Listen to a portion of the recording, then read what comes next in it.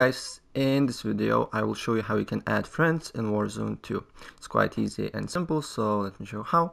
First of all, you need to of course load up your game and then you need to press options button and then you need to go to settings, little gear icon and then go to account and network and uh, go to, need to go back on the main screen here, uh, press options again and then uh, we need to go to social here and then to friends list, uh, friends tab or one, and then press add friends.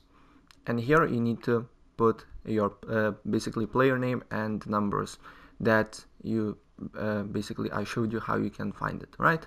And then basically press send request. And if you want to uh, accept friend request, uh, as you can see here, uh, on the options there is little uh, notifications bar here. Here it will be the friend uh, request that you got and you will see your friends in uh, basically this list right? So that's pretty much it what I want to show you. And if I help you out please press like button and subscribe for more. Take care. Bye